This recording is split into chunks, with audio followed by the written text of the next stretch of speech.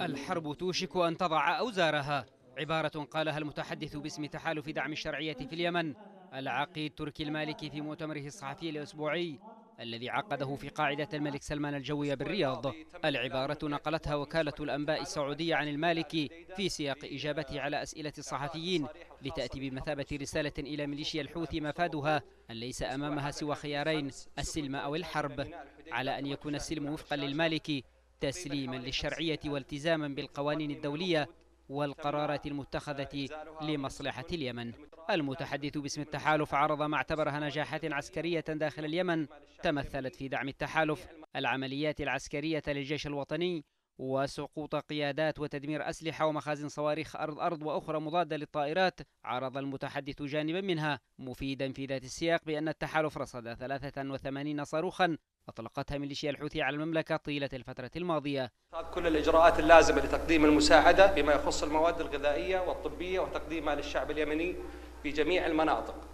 ثنائية الحرب والدعم الإنساني هيمنت على المؤتمر الصحفي للمتحدث باسم التحالف.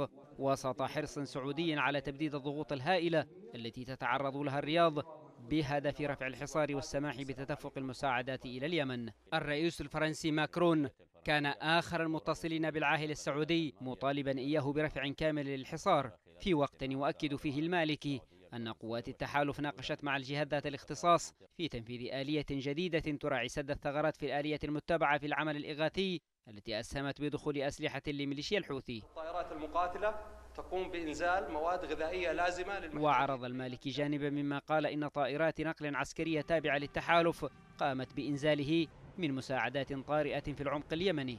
بالإضافة إلى وصول ناقلات تحمل آلاف الأطنان من المشتقات النفطية إلى ميناء الحديدة إلى جانب ما وصفه المالكي بالجهد الإنساني لقوات التحالف في جزيرة ميون. الحرب في اليمن حربان حرب بالأسلحة وأخرى بالجوع والأمراض والأوبئة. وكلاهما يجري وسط كم هائل من الشكوك بالنوايا وبالمقاصد النهائية لمأساة تولد المزيد من العنف والتحديات الإنسانية العميقة بالغة التأثير على اليمن والمنطقة والعالم.